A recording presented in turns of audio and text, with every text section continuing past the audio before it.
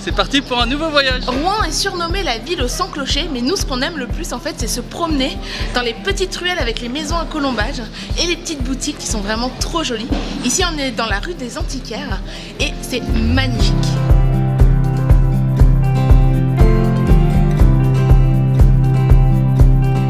Rouen est célèbre pour sa cathédrale qui est la plus grande cathédrale de France, mais également pour le gros horloge qui se trouve juste derrière moi.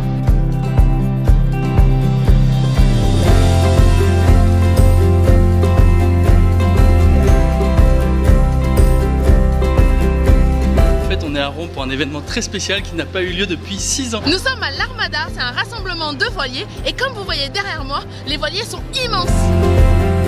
Les voiliers sont ouverts au public pendant l'Armada, donc en fait toute la journée on peut visiter les bateaux. Et là du coup on va essayer d'en visiter un maximum ce matin, tant qu'il n'y a pas encore trop de monde.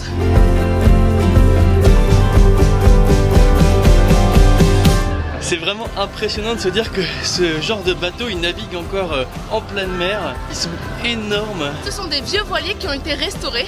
Celui-là par exemple, juste derrière moi, c'est là où on était monté tout à l'heure. Bah, il date de 1918, donc il a plus de 100 ans. Je suis arrivé tout en haut du panorama XXL et la vue est impressionnante.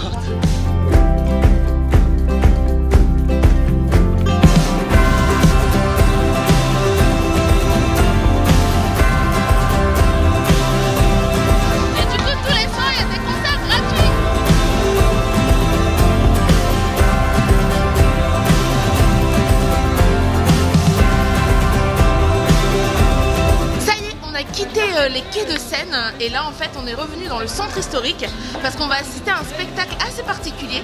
C'est une projection directement sur la cathédrale. Donc ça va être la première fois qu'on assiste à ce genre de projection. Donc on a hâte. Allez, c'est parti.